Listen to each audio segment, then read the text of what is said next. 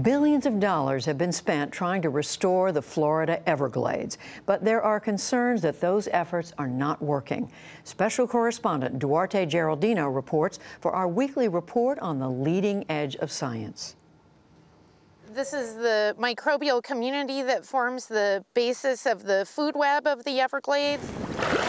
Scientist Evelyn Gaiser has spent her entire adult life getting her feet wet studying the microscopic animals and plants living in the Florida Everglades. There are so many different types of habitats that occur in it. There are so many different ways that water flows through it, um, both above ground and below ground.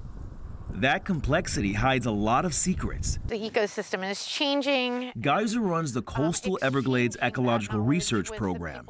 She and her students have found previously unknown life forms here. They had not been discovered in science, so my students actively name species.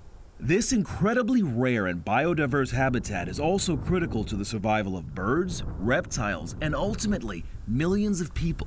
It is a real lifeblood, not only for the organisms that we see here, but for us as well. It's our source of fresh drinking water, of the potable water that we use and the water that we irrigate our farm fields with. Over the last century, the natural footprint of the Everglades was reduced by almost half to make room for roads, homes, and farms. To do that, Swampland had to be drained and fresh water was channeled out to the coasts, leaving the southern region vulnerable to rising seawater encroachment. That salt water is creeping in and in. Okay, so you're saltwater, um, I'm freshwater. That's right. And so there's that kind of push-pull in the wet and dry season that would happen naturally. When you don't have enough fresh water moving in, the salt water is just going to gradually move in and in and in. And rising sea levels, accelerated by global warming, mean forests of mangroves are moving far inland, killing off the natural habitat. In 2000, federal lawmakers implemented an ambitious plan to restore the original essence of the Everglades.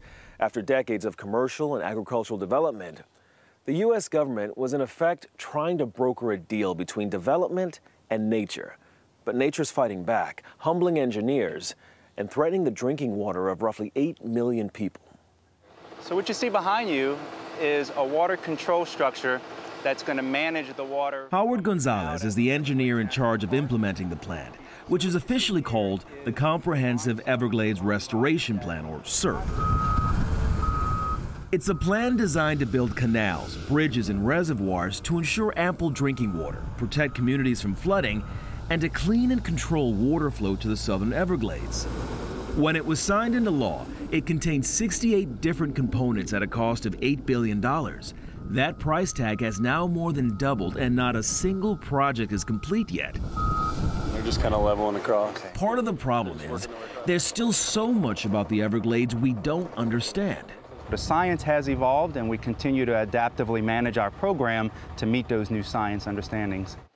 And yet, Gonzalez says the projects are still proceeding according to the original timetable.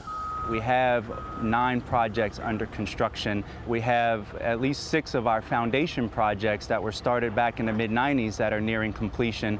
When you look at those in total, shows that we're making great progress. The Tamiami Highway is one example of that progress. For nearly 90 years, it acted like a dam, preventing fresh water from flowing south to the Everglades National Park.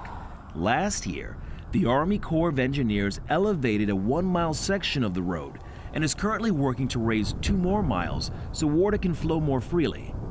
And the state has also built some storm water treatment areas, which use plants to scrub clean agricultural water before it flows into the Everglades. But journalist Michael Grunwald, author of The Swamp, The Everglades, Florida, and the Politics of Paradise, says the plan has not accomplished its main goal. The real thrust of CERP is supposed to be about storing water. And while we're 17 years in, and they haven't built any storage. No storage? They haven't built any storage. They aren't planning to build enough storage, and there's no plan B. Right now, the main place to store water is Lake Okeechobee. But when water levels get too high, managers are forced to release the untreated water, sending it out to the east and west coasts. Last summer, that dirty water caused unprecedented algae blooms on Florida's lakes and coastlines. It was so bad, Governor Rick Scott declared a state of emergency.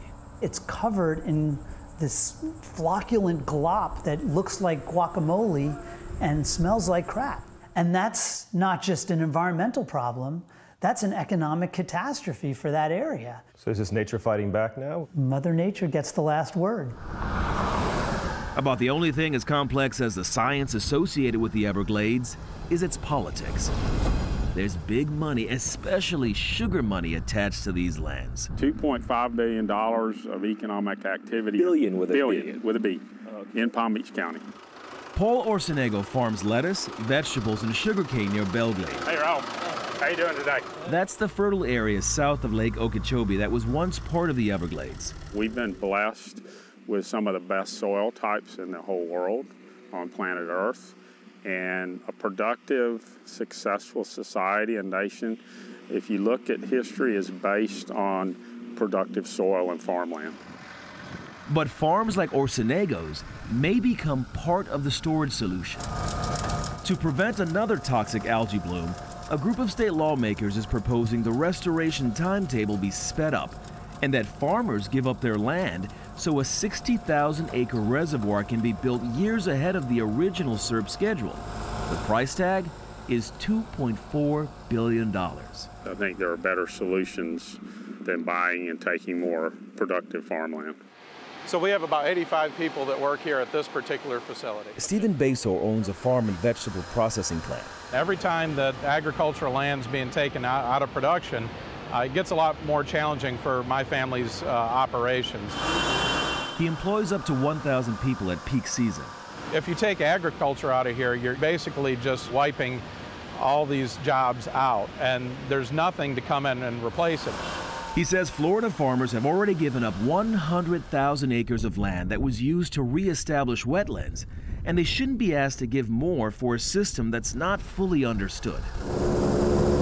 Steve Davis, an ecologist with the Everglades Foundation, is sympathetic to the loss of farm jobs, but warns the state will take an even bigger economic hit if the problem is not fixed. We're a tourist based economy in Florida. If people are canceling their summer vacation trips to these coastal areas, restaurants, hotels, a much larger sector of our economy is being affected. He says the science is clear.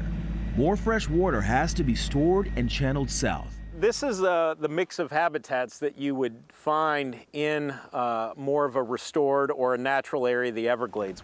He took us deep into the marsh, where alligators are king, to show us how, if given the right conditions, this incredibly rare system can heal itself. It's almost like your immune system. If you get a viral infection, your body has a tendency to fight it off and will continue to fight it off as long as it can. And the, the resilience of the Everglades is, is very similar to that. We see the system improves under marginal conditions. If we can only restore that flow of fresh water back to the south, we know that we'll see a, a significant boost in the health of the, the system. A system that is critical to the biological and economic health of the entire state of Florida. From the Everglades, I'm Duarte Geraldino for the PBS NewsHour.